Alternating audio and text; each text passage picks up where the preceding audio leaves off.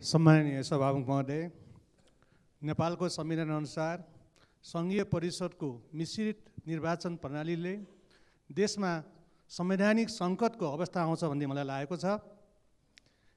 दुई हजार चौध सालको निर्वाचनमा सबभन्दा ठुलो दल नेकपा एमालेलाई दुई हजार उनासी सालको निर्वाचनमा सबभन्दा ठुलो दल नेपाली काङ्ग्रेसलाई र गण्डकी प्रदेशमा नेपाली काङ्ग्रेसलाई प्रत्यक्षबाट अठारजना निर्वाचित भए समानुपात समानुपातिबाट नौजना हुँदाखेरि सत्ताइसजनाको टाइप ब्रेक जस्तो भयो र तेत्तिस पर्सेन्ट हाम पुर्याउनु पर्ने हाम्रो बाध्यताले यसमा संवैधानिक सङ्कट छिटो ढिलो आउनेछ यसमा ध्यान आकर्षण होस् भन्ने म चाहन्छु।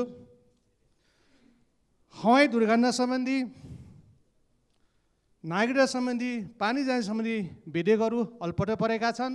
यसलाई यथाशीघ्र अगाडि बढाइयोस्।